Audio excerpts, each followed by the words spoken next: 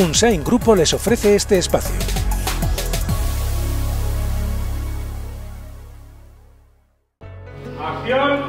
Saca es estos días un set de rodaje, el ir y venir del equipo de producción, el sonido de la claqueta y los extras ataviados con el vestuario de la época han tomado las calles de la localidad. Todo para el rodaje de la adaptación cinematográfica del hijo del acordeonista, de Bernardo Achaga. Es una historia, bueno, en, en nuestro ámbito tiene pues el ADN de todas las generaciones de los 50, 60 en adelante pero a la vez es una historia pues, absolutamente universal porque habla de amistad.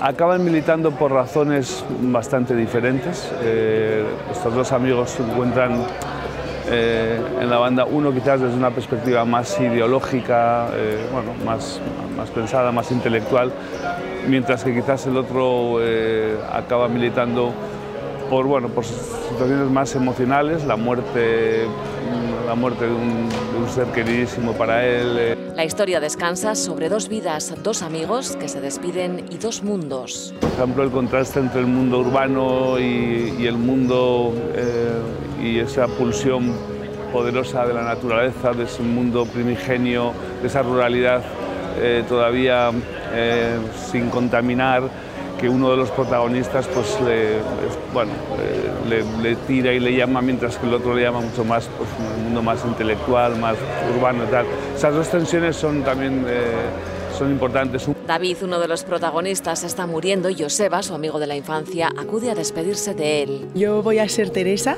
Es un personaje muy, muy potente en esta historia porque es un poco como que flota un poco por encima de todo lo que está pasando ¿no? y la época y no sé, ella está muy enamorada del protagonista, de David, desde siempre.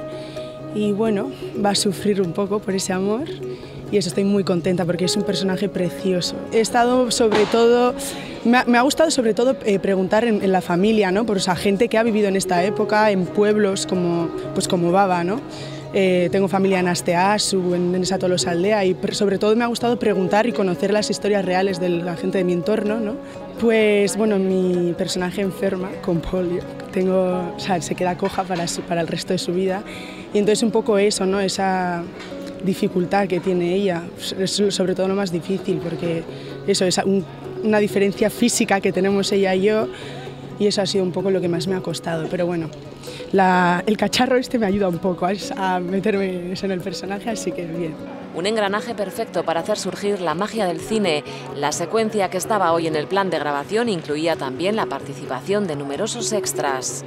Bien, la primera vez que vengo y bueno, positiva, muy entretenida y bueno, una, una, cosa diferente. Figurar un poquito para arriba y para abajo y como si voy a la compra con el monedero y todo. ¿Qué tal te sientes así vestida? Hombre, ¿qué quieres que te diga? Pues bueno, esta, época la hemos vivido, o sea que... Pasearme para adelante y para atrás y obedecer. Todo el rato obedecer. Ponte el pañuelo, quítate el pañuelo, sube, baja. Obedecer. Mira, yo creo que había tocado muchos palos, cantar, he hecho teatro, he hecho cosillas, y lo único que no había hecho era cine, y de repente me dio la neura. Antes de morirme, quiero, que, quiero oír, se rueda. Y me encantó. Me he apuntado y es la primera vez. Me llaman a escena y como soy la protagonista, Tengo una amiga que, que, trabajó en esto y me llamó y me dijo que me apuntara al casting y nada, y me han cogido. Estamos viendo un pequeño secuencia, hemos como del pueblo, pues venimos a cuscusear. Es bonito ver el cine y que la, siga el cine y que la gente venga a Lesaca, que es un pueblo muy bonito. El rodaje se llevará a cabo durante siete semanas en Navarra y Guipúzcoa y se espera que llegue a la gran pantalla a comienzos del año que viene. ¡Acción! Unsain Grupo les ha ofrecido este espacio.